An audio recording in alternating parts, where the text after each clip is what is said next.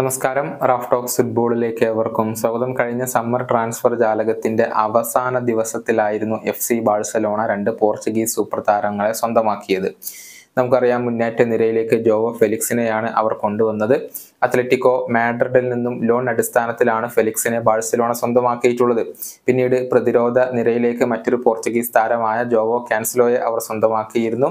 Manchester സിറ്റിയിൽ നിന്നും loan അടിസ്ഥാനത്തിൽ തന്നെയാണ് കാൻസലോയെ ഇവർ സ്വന്തമാക്കിയിരുന്നത്. ഈ രണ്ട് താരങ്ങളെയും വരുന്ന സമ്മർ ട്രാൻസ്ഫർ വിൻഡോയിൽ നിലനിർത്താൻ എഫ് സി ബാഴ്സലോണ താല്പര്യപ്പെടുന്നുണ്ട് എന്നുള്ള റിപ്പോർട്ടുകൾ നേരത്തെ തന്നെ പുറത്തേക്ക് വന്നിരുന്നു. പക്ഷേ ഫെലിക്സിനെ ബാഴ്സലോണ നിലനിർത്തിയേക്കില്ല. അതിന് കാരണം ബാഴ്സലോണക്ക് താല്പര്യം നഷ്ടമായതൊന്നുമല്ല. മറിച്ച് അത്ലറ്റിക്കോ മാഡ്രിഡിന്റെ ഭീമമായ ആവശ്യങ്ങളാണ് പ്രമുഖ സ്പാനിഷ് മാധ്യമമായ മാർക്കയാണ് ഇക്കാര്യം റിപ്പോർട്ട് ചെയ്തിരിക്കുന്നത്. അതായത് താരത്തെ സ്ഥിരമായി നിലനിർത്താനുള്ള ഓപ്ഷനൊക്കെ ബാഴ്സലോണക്ക് ലഭ്യമാണ്.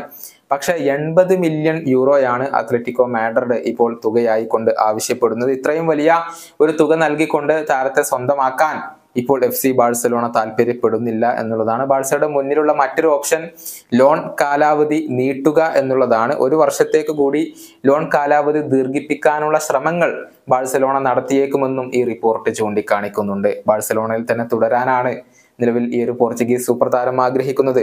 പന്ത്രണ്ട് ഗോൾ പങ്കാളിത്തങ്ങളാണ് ഈ സീസണിൽ ആകെ അദ്ദേഹം ബാഴ്സലോണക്ക് വേണ്ടി നേടിയിട്ടുള്ളത്.